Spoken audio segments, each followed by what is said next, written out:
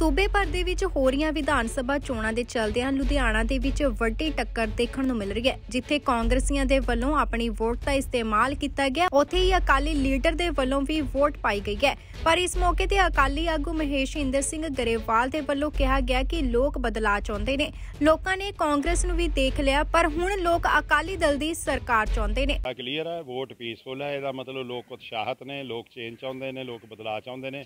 ਜਦ ਫ੍ਰਿਸਕ ਵਾਕਿੰਗ ਹੋਵੇ ਤਾਂ ਮਤਲਬ ਐਗਜ਼ਿਸਟਿੰਗ ਸਿਸਟਮ ਦੇ ਉਲਟ ਰਿਵੋਲਟ ਹੈ।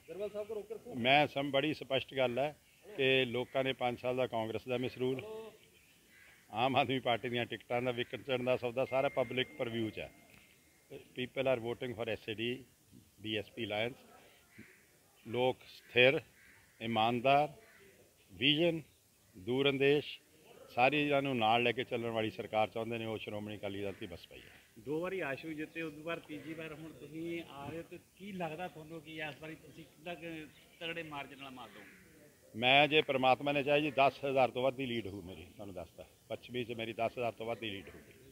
ਕੀ ਲੱਗਦਾ ਤੁਹਾਨੂੰ ਕਿ ਉਹਨਾਂ ਦੇ ਇੱਕ ਜਿਹੜੇ ਪਹਿਲਾਂ ਕੰਮ ਸੀਗੇ ਕਿੱਥੇ ਕਿੱਥੇ ਕੰਮ, ਕਿੰਨੇ ਕਿ ਜਾਇਜ਼ ਸੀਗੇ, ਕਿੰਨੇ ਕਿ ਉਹਨਾਂ ਨੇ ਉਹਨਾਂ ਦੇ ਕੰਮਾਂ ਕਰਕੇ ਮੈਂ ਜਿੱਤਣਾ ਜੀ। ਜਿਹੜਾ ਉਹਨਾਂ ਨੇ ਠੱਗੀਆਂ ਠੋਰੀਆਂ ਮਾਰੀਆਂ ਹਜ਼ਾਰਾਂ ਕਰੋੜਾਂ ਦੀਆਂ, ਉਸੇ ਕਰਕੇ ਮੈਂ ਜਿੱਤਣਾ ਜੇ ਇੱਕ ਉਹਨਾਂ ਦੀ ਮਿੱਠੀ ਬੋਲੀ ਨੇ ਜਿਹੜਾ ਨਾ ਸਭ ਨੂੰ ਖੁਸ਼ ਕਰਤਾ ਨਾ, ਉਹਦੇ ਕਰਕੇ ਜਿੱਤਣਾ ਮੈਂ। ਦੂਜੇ ਪਾਸੇ ਕਾਂਗਰਸੀ ਭਾਰਤ ਭੂਸ਼ਣ ਆਸ਼ੂ ਦੇ ਵੱਲੋਂ ਕਿਹਾ ਗਿਆ ਕਿ ਲੋਕਾਂ ਦੇ ਵਿੱਚ ਇਸ ਵਿਧਾਨ ਸਭਾ ਚੋਣਾਂ ਨੂੰ ਲੈ ਕੇ ਕਾਫੀ ਉਤਸ਼ਾਹ ਹੈ ਤੇ ਨਾਲ ਹੀ ਉਹਨਾਂ ਕਿਹਾ ਕਿ ਉਹਨਾਂ ਦੀ ਬੇਟੀ ਦੇ ਵੱਲੋਂ ਵੀ ਪਹਿਲੀ ਵਾਰ ਵੋਟ ਦਾ ਇਸਤੇਮਾਲ ਕੀਤਾ ਗਿਆ। ਉਹਨਾਂ ਨੂੰ ਬੜੀ ਖੁਸ਼ੀ ਹੈ ਕਿ ਨੌਜਵਾਨ ਪੀੜ੍ਹੀ ਦੇ ਵਿੱਚ ਇਸ ਵਾਰ ਕਾਫੀ ਉਤਸ਼ਾਹ ਹੈ।